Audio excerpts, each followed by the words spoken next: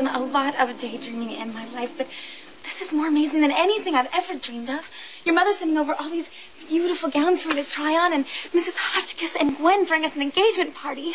Theresa, it's exciting. You're my wife to be, and I couldn't be happier. Really?